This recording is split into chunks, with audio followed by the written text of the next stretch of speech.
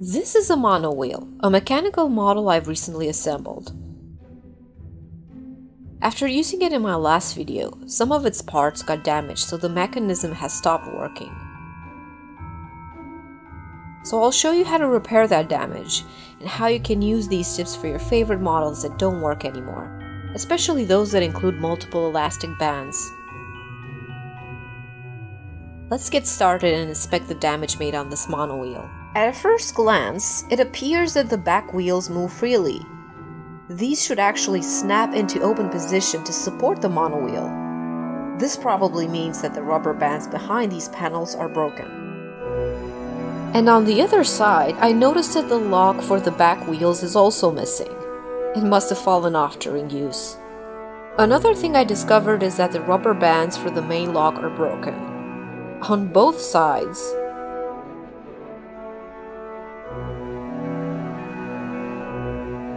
And one of the larger rubber bands inside is broken as well. Luckily, I have some spare parts. I will rebuild the missing lock using the three pieces that form it.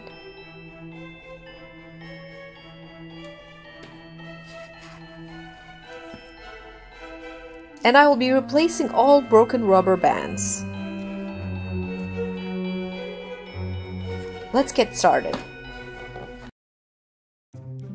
I will begin by detaching the back wheels, and I have to remove the panels to reach the broken rubber bands.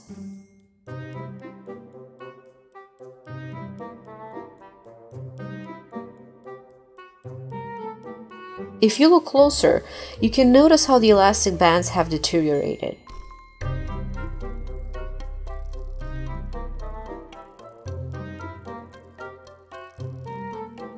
The longevity of your rubber bands depends on the temperature in the room and on whether you have a desk by a window or near a source of heat.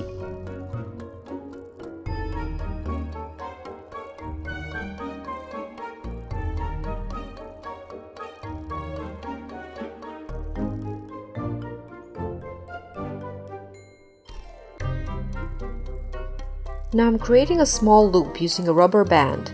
You need two of these for the back wheels.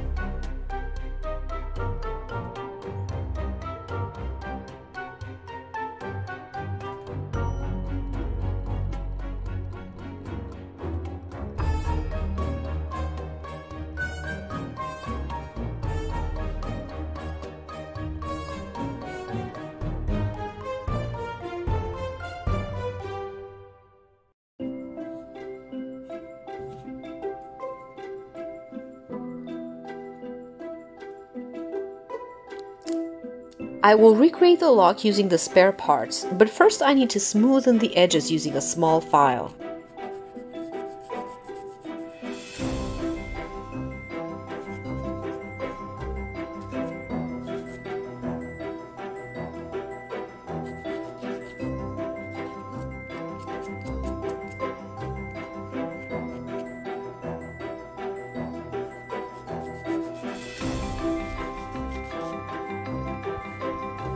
The sliding lock rubs against other pieces, so applying wax will reduce the friction.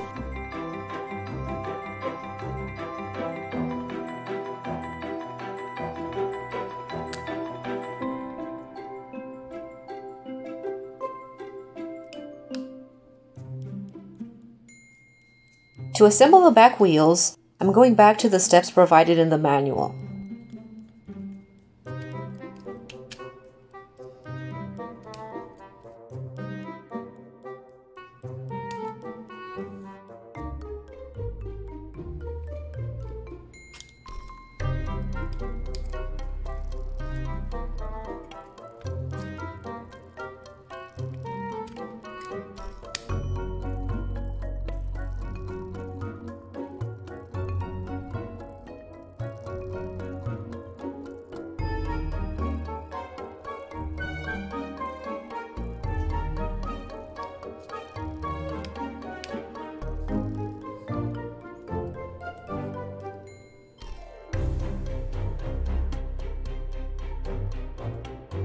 Now this rubber band is rather difficult to replace, because most of the pieces of the monowheel are already assembled.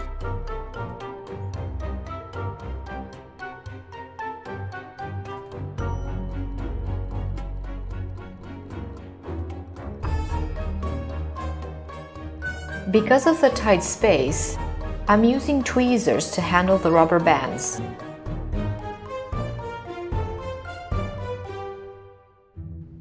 As a next step, I need to remove the big wheel to reach the rubber bands on the inside.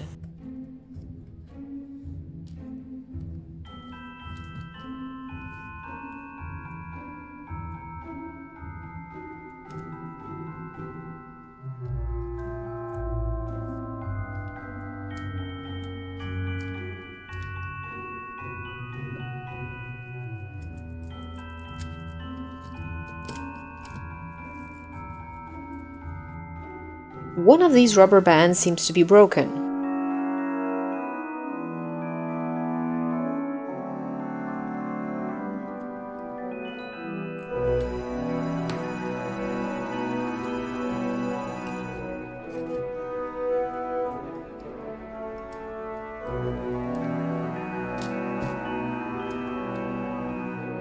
I will use a piece of string I have from another model to pull the rubber bands around this axle.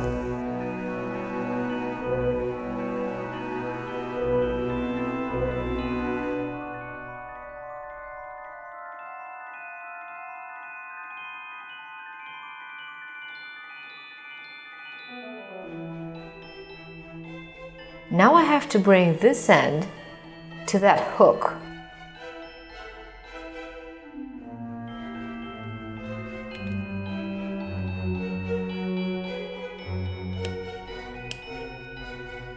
Before I put it back together, I want to wax the gears one more time to make sure they run smoothly.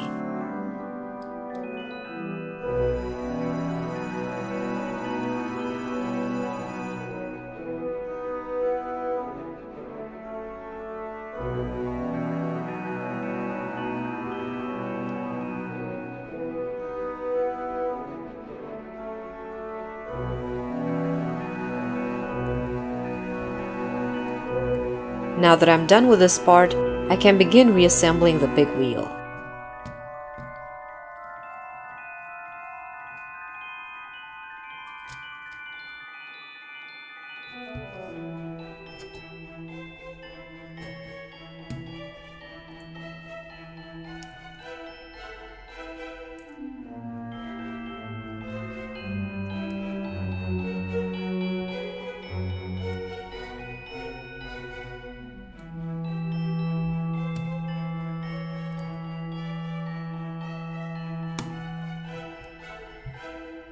The monowheel is as good as new.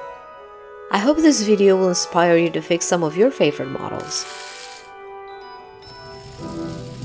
If you want to see how I build the steampunk monowheel, check out this amazing builds episode.